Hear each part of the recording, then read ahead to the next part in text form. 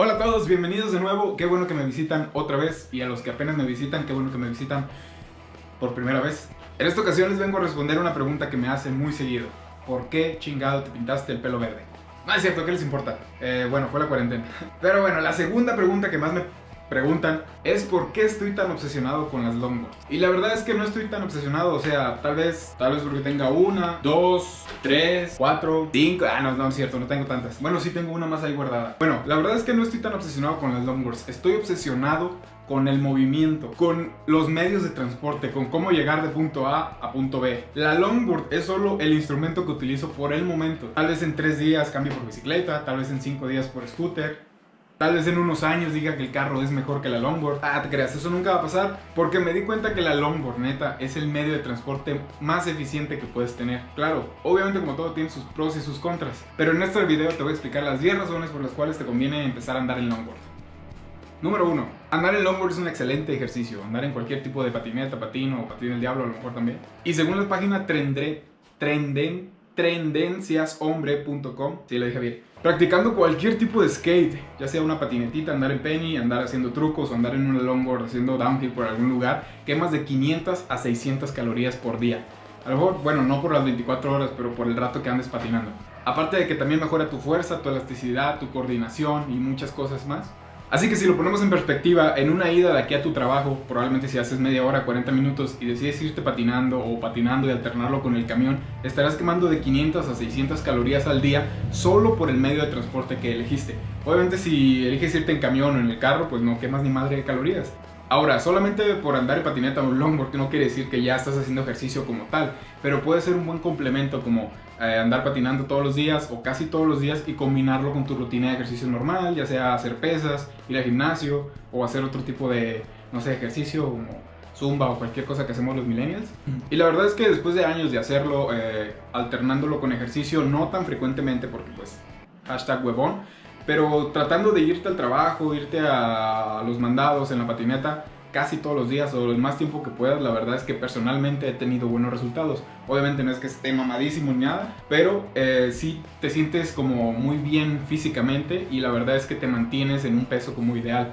Yo como como cerdo normalmente, pero siempre con el poco ejercicio que hago en mi casa, combinándolo con la longboard, la verdad es que he tenido no los resultados que a lo mejor quisiera alguien como estar mamado o ser muy fitness, pero la verdad es que para la cantidad de comida que mi cuerpo recibe diariamente, eh, la longboard logra que me mantenga como en un peso y la verdad es que me siento muy bien físicamente, así que yo se los recomiendo mucho como medio de transporte para complementarlo con algún ejercicio que ustedes les guste hacer, ya sea que quieran hacer pesas, karate o cualquier otra cosa. Número 2. Personalmente es un transporte muy eficiente. Comparado con otros medios de transporte, la verdad es que la longboard tiene muchas ventajas. Por ejemplo, si lo comparas con el carro, no gastas gasolina, no estás atorado en el tráfico, no estás sentado nada más en tus nalgas por una hora o lo que sea que hagas en tu trabajo, no puedes matar a alguien. a lo mejor sí lo puedes matar, pero va a estar un poquito más difícil. Comparado con la bicicleta, la verdad es que en la longboard es mucho más fácil eh, andar por la ciudad, te puedes meter por lugares más pequeños. Aparte de que la bicicleta no la puedes meter, por ejemplo, digamos, a un Oxxo o si quieres ir a un baño en un Soriana por el centro, pues no te van a dejar meterla tendrías que dejarla fuera y, seamos honestos, está jodidísimo dejar tu bici amarrada en algún lugar. Y por otro lado la longboard pues la puedes meter a donde tú quieras y pues nadie te va a decir nada. A lo mejor el guardia de Soriana te dijera que la dejaras en paquetería, pero pues bueno. Hablando de algo que a mí personalmente me súper, súper caga es el tráfico. Yo no soporto estar en el tráfico. Vengo de una ciudad pequeña que es Los Moshi, Sinaloa.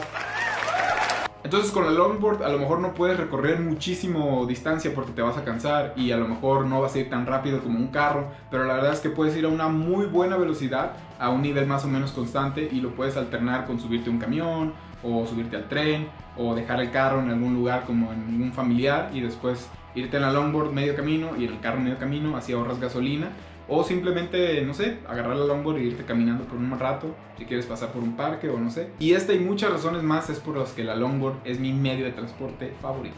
Número 3 es un deporte barato. Tal vez no sea el más barato y la verdad es que pues es depende de tu percepción. Si puedes gastar mucho dinero, pues gastas mucho dinero y esto aplica en todo. Si tienes mucho dinero, te compras un carro que cuesta muy caro. Si no tienes tanto dinero, puedes comprar un carro que no está tan caro y de todos modos cumples como la misma función.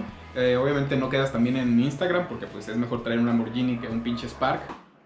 pero la verdad es que con poco dinero puedes armarte algo que te sirva. Unos valeros rápidos, unas llantas grandes y una tabla grande para mí es más que suficiente para hacer mi recorrido diario o mi recorrido de casi todos los días y pues con eso soy feliz. Ya después eh, voy cambiando como de perspectiva y digo, ah, bueno, ahora quiero andar en una penny un poco más pequeña, ahora quiero, suponiendo que quisiera hacer trucos, ahora voy a comprar una tabla un poco más cara, pero para poder hacer trucos, etcétera. Cada quien, hay un mundo de posibilidades aquí y la verdad es que no es que sea baratísimo, baratísimo, pero sí ahorrando, vaya, ahorrándote lo que usarías en camiones o en gasolina, la verdad es que te compras rapidísimo una longboard completa para ir, por ejemplo, de aquí a tu trabajo o de aquí a tu escuela. Número 4. No solo te sientes bien físicamente, también te sientes bien mentalmente. Esto es un tema muy importante porque muchas personas, sobre todo aquí en México, sufrimos de ansiedad, de depresión y de muchos problemas relacionados con la cabeza que no puedes controlar como tal, ya que pues, digo, son de la cabeza. Puedes ir a un psicólogo, puedes ir a un psiquiatra, pero la verdad es que solo te los van a medio controlar. Son problemas muy grandes y a lo mejor muchos de ustedes me entenderán, sobre todo la gente que tiene mucha ansiedad, que creo es lo más común. Pero bueno, hace mucho tiempo descubrí que las emociones fuertes, o más bien dicho, la adrenalina en pequeñas cantidades curaba un poco mi ansiedad y también otros problemas mentales que puedo llegar a tener. Pequeñas dosis de adrenalina hacen que mi cuerpo se relaje un poco y se le quite lo tenso. Entonces, si te sientes un poco estresado, yo recomiendo mucho buscar algo que te dé esas dosis de adrenalina. Les recomiendo patinar Patinar es una manera de, liberar endorfinas como cuando haces ejercicio, eh, te sientes bien también y como dije antes, dependiendo como tu perspectiva. Si te gusta hacer trucos en la patineta, cuando haces un truco muy chido que no te salía, te sientes bien y la verdad eso afecta mucho la manera en la que te sientes, la manera en la que vives. En mi caso no hago trucos y no ando como, como tal en recreación en el longboard, la uso más como si fuera una bicicleta, pero para mí ir muy bueno, lo más rápido que pueda sin matarme porque pues voy entre carros y entre gente. Me genera unos toques de adrenalina que me, me hacen sentir bien y esto no aplica igual a cuando vengo en el carro, cuando vengo en el camión. Entonces eh, les recomiendo que lo prueben. Número 5. Un deporte, cualquier deporte siempre va a generar vínculos entre ti y la gente con la que compites o si no eres muy competitivo con la gente con la que lo practicas. Es como estar en una banda, al rato ya es que no puedes ir a patinar sin él y a rato consiguiendo más gente como para ir a patinar en grupo y así a lo mejor vas conociendo más gente que esté como en el medio de lo tuyo, gente que no hace lo mismo que tú pero que está interesado en el mismo tema. También por el lado de las relaciones, está comprobado que hacer un deporte en pareja genera un vínculo muy fuerte entre tú y tu pareja. Entonces, por ejemplo, en mi caso, eh, mi novia no le gusta como tal patinar porque una vez se cayó y se golpeó la cabeza y bla bla bla. Entonces ya no quiere patinar, pero sí acepta subirse a mi longboard y como está súper gigante nos podemos subir los dos, ella sentada y yo dándole. A lo mejor es una mensada, pero lo hacemos como en la vía recreativa, como vamos a ir a desayunar, dejamos el carro en algún lugar y nos vamos de bajada como, no sé, platicando y tomándonos fotos. A lo mejor suena muy tonto en este caso, pero la verdad es que pues es divertido y pues es algo que podemos hacer nosotros. Así que recomendado. 6. El espacio que necesitas para guardar la longboard o cualquier otra cosa pequeña que sea una tablita de madera es muy diferente a guardar una bicicleta, una motocicleta o a lo mejor algún otro medio de transporte. Ya ni se diga el carro, que mucha gente no tenemos cochera y tenemos que dejarlo afuera. La longboard no genera mucho problema de dónde meterla en un departamento pequeño como este, por ejemplo. La puedes meter en la cochera del carro y dejarla ahí, sacarla cuando la necesites. La puedes poner debajo de la cama, la puedes poner en el closet, la puedes poner en la sala como decoración. O en mi caso puedes hacer tu propia stand para longboards. Número 7. Encontrar un nuevo hobby. Algo que yo recomiendo siempre a mis amigos y a mi novia y a todas las personas que me cuentan sus problemas es que necesitas un hobby o muchos hobbies. No puedes vivir la vida solo haciendo lo que esperan que hagas. O sea, no puedes levantarte la mañana, esperar a ir al trabajo, trabajar para ganar dinero, para llegar a la noche a cenar para a lo mejor hacer algo con tu novia o con tus amigos, no sé, y luego dormir y repetir y esperar el fin de semana para ponerte bastardo en un bar o algo así, ir a muchas fiestas, o sea, no puede ser todo lo que piensas, no digo que esté mal, solo digo que tu mente tiene que estar enfocada en muchas cosas más. Eh, en el caso de muchas personas, la mente tiene que estar enfocada en hacer dinero, en, en negocios y en ganar dinero y en ganarle a otra gente y en ser millonario. En mi caso, también tengo ideas de negocios, también me gusta el dinero y también quiero ser millonario. Pero también algo muy importante en mí es que me gusta mucho tener hobbies, cosas que me distraigan y cosas que me aporten algo a mí personalmente. No lo que la gente piense, sino algo que a mí me guste. Entonces, por lo mismo, hago música, toco guitarra, juego videojuegos, ando en la longboard. Y la longboard y andar en patinete en general es un pasatiempo muy divertido. Si eres tan simple como andar en ella de un lado a otro nada más, si eres como yo que te gusta como viajar en ella a lugares, o si te gusta hacer trucos, todavía llevarlo a un nivel más extremo, la verdad es que siempre te vas a divertir. 8. La adrenalina.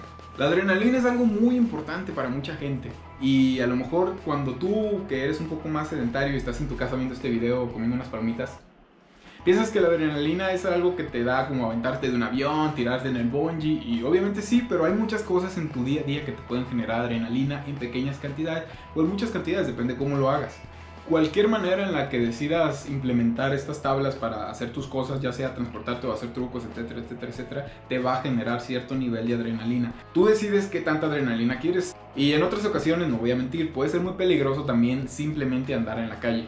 También depende mucho de cómo seas tan atrabancado. Yo puedo llegar a ser un poco atrabancado a veces, eh, cosa que ya le bajé porque ya me he quebrado demasiadas cosas, ya estoy todo chueco por todos lados.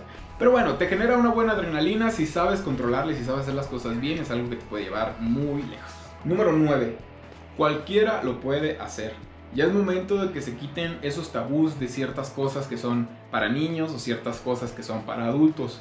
Normalmente mucha gente, y es algo que me han dicho mucho a mí, es a una palabra que a mí me cae es que me digan chaborruco, porque no es como tal que me ofenda, pero sí me quedo pensando como de, a ver, soy muy grande para qué, en base a qué y quién lo dijo, o sea, quién definió lo que puedes hacer o no. Y también esto tiene que ver con que no importa si eres mujer, no importa si eres hombre, no importa si estás gordo, si estás flaco, la verdad es que todos pueden hacerlo. A todos tenemos por seguro que les va a beneficiar, pero algo que a mí me gusta siempre decirle a la gente es haz lo que te guste, haz lo que tengas que hacer y no te fijes en ese tipo de cosas.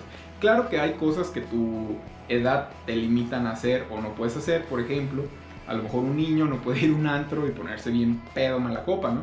Y yo a lo mejor no puedo ir a un arenero en el parque y ponerme a jugar con los niños que están ahí porque probablemente van a pensar que soy un pedófilo. Pero con respecto a hobbies que tú tengas, si quieres tocar algún instrumento, por más bobo que parezca, tú tócalo adelante. Mucha gente se limita a no tocar los instrumentos raros porque se ríen de ellos, como el clarinete y ese tipo de instrumentos, y deciden tocar los instrumentos que todo el mundo toca, como son la batería y la maldita guitarra otra gente también le da mucha vergüenza hacer ese tipo de cosas de patinetas y todo porque está relacionado con o niños o profesionales.